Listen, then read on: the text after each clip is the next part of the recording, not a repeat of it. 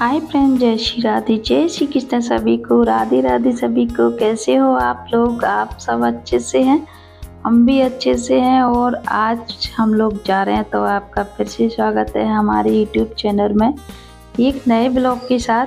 तो आप बने रहिए हमारी वीडियो में एंड तक। जब भी आपको देखने को मिलेगा तो हम लोग जा रहे हैं अपने मामा जी के यहाँ। मतलब मैं अपने मामा जी के यहाँ। तो अभी हैं हम रास्ते में।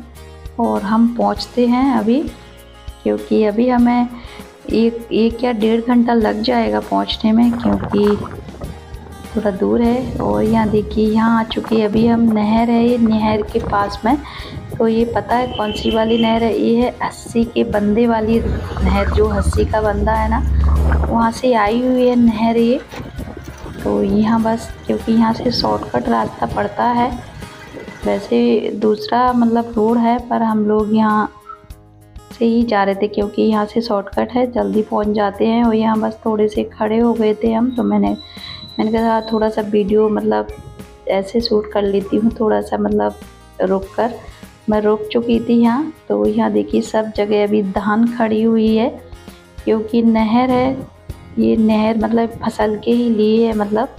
तो ये मतलब सब जगह हरा हरा मतलब दहाने ही खड़ी है अभी क्योंकि नहर से पानी दिखता है। तो यहाँ बस थोड़े से रुके हम और निकल चुके। अब पहुँचते हैं हम करैया तो आप लोग ये ना समझे कि पूड़ियाँ निकालने वाली करैया। वो नहीं मतलब हमारे मामा जी करैया गाँव है वहाँ रहते हैं तो उसी का मतलब करैया नाम है। तो पहुँचते हैं हम बस।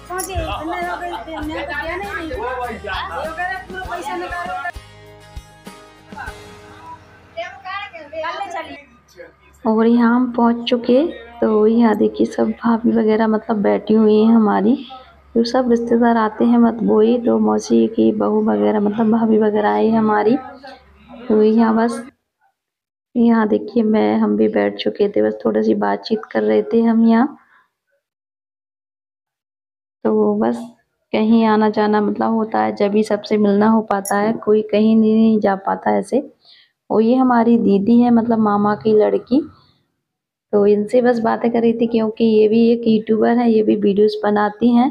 तो इनका सविता शर्मा के नाम से मतलब चैनल है इनका, इनको भी आप लोग सपोर्ट कीजिए।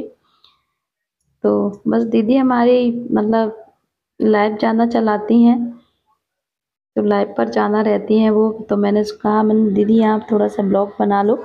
बस उन्होंने अभी अपनी वीडियोस मतलब शूट कर रही थी।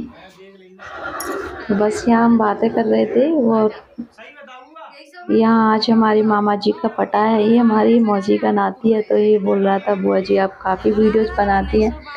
तो मैंने कहा, चलो, अब बनाते तो हैं ही। बस इसी से मैं बोल रही थी, क्योंकि बनाना अब चैनल है तो बना के रोज़ ब्लॉग तो डालना पड़ता है। और बट मैं रोज़ तो नहीं डाल पाती, क्योंकि मुझे इतना टाइम भी नहीं मिल पाता। तो यहाँ बस मैंने कि, चलो, मामा जी का आज क्या है, हमारे पटा था, तीन साल में पटा पड़ता है। तो मामा जी अभी तीसरी साल है मतलब वो ख़त्म हो चुके थे तो उनका ही पटा था। और यहाँ बस हम बातें वगैरह कर रहे थे तो ये हमारी भाभी की लड़की है।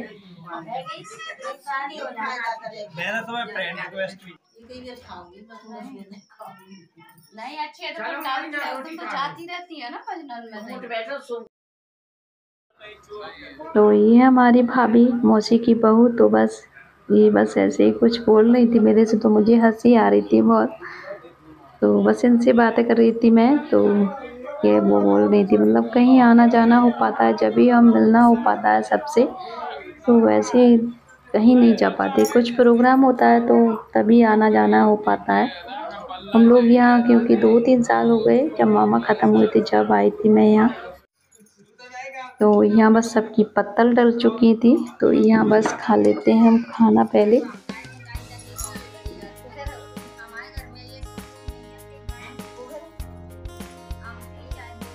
भाई तो हैं भाई तो।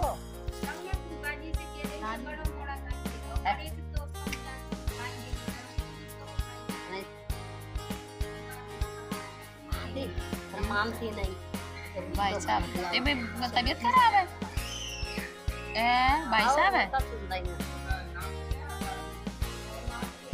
बल्कि तो ले आऊँ तो कहाँ पे गुरु तो बढ़िया है तो तो तो बिना समय तो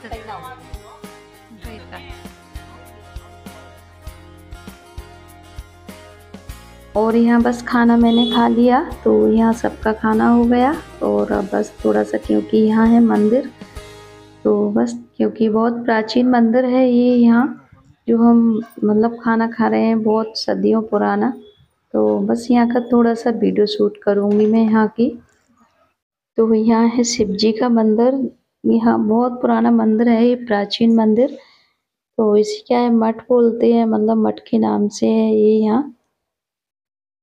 बहुत पुराना मंदिर है मतलब ये बहुत जब लड़ाई वगैरह होती थी।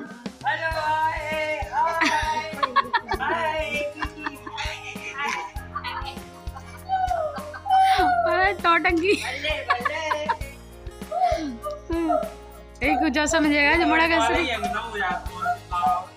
हैंग नहीं होगा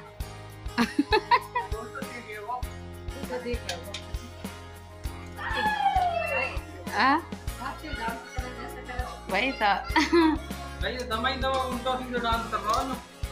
बोले। तो यहाँ देखिए ऐसी शिवलिंग है ये मतलब जब सतयुग था ना तब जब की शिवलिंग है ये शिव जी की तो काफ़ी प्राचीन मंदिर है ये बहुत पुराना। तो यहाँ बस शिव जी के पैर छी के प्रणाम कर लेते हैं।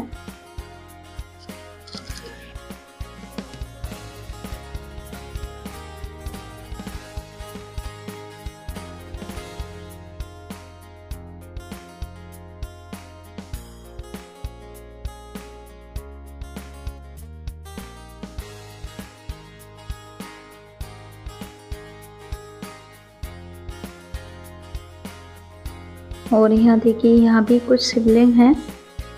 तो नंदी बाबा और शिवलिंग ही सबसे ज़्यादा है। यहाँ यहाँ बैठे हैं। पहले मतलब मंदिर ऐसे ही रहते थे। तो यहाँ देखिए, बस ये ये मामा जी के मतलब घर के पास में ही है ये। तो यहाँ दीदी भी वीडियो थोड़ी शूट, वो भी कर रही थी। यहाँ पास में चलते हैं हम।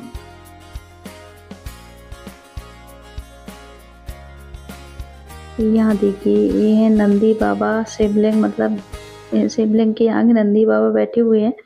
तो जब लड़ाई वगैरह हुई थी ना, जब क्या है तोड़ फोड़ कर दी थी तो यहाँ क्या भैया लोग बैठे हुए थे, वो बता रहे थे क्या तब की मतलब शिवलिंग है, जब आदल, आलम जमाने में लड़ाई वगैरह हुई थी तो ये क्या है, नंदी बाबा और शिवलिंग जगह जगह से थोड़ी थोड़ी टूटी हुई थी। तो बस भैया लोग बता रहे थे कि जब लड़ाई वगैरह हुई थी ना तो उन्होंने ही इनको तोड़ दिया था। तो तब क्या है, पूजा पाठ इतनी नहीं होती थी। अब इतनी पूजा पाठ है, क्योंकि पूजा हम जब भगवान जी को पूजते हैं, पत्थर में शक्ति जब ही आती है, जब हम पूजा पाठ करते हैं तो जब ही तो शक्ति प्रकट होती है। तो तब क्या इतनी शक्ति नहीं थी, क्योंकि पूजा पाठ ही नहीं होती थी। अब तो इतनी पूजा पाठ है, बहुत ज़्यादा।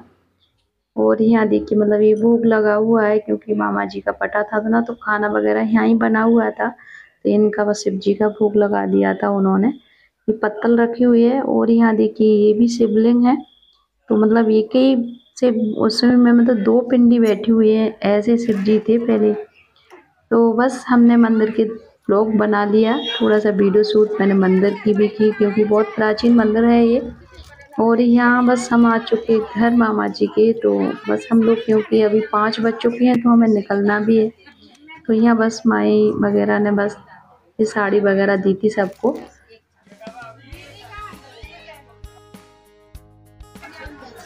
तो यहाँ मामी ने साड़ी रख दी थी, बहुत सारी मतलब जिसको पसंद आए वो ले ले। तो यहाँ मतलब जिसको पसंद आ रही थी वही उठा के वो दे रही थी। तो यहाँ देखिए मतलब सबके लिए उन्हें साड़ी दी थी।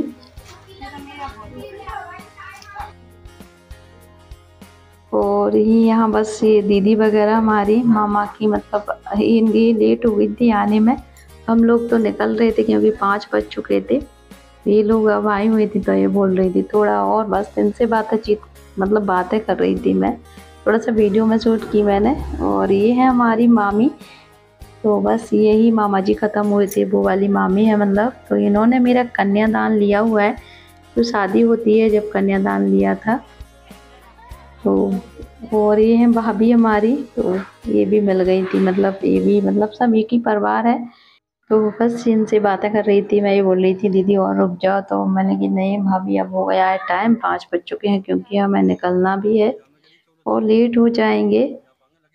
तो कहते हैं ना, बस आते हैं तो सबसे मिलना जुलना हो जाता है। वैसे तो कोई कहीं नहीं मिल पाता।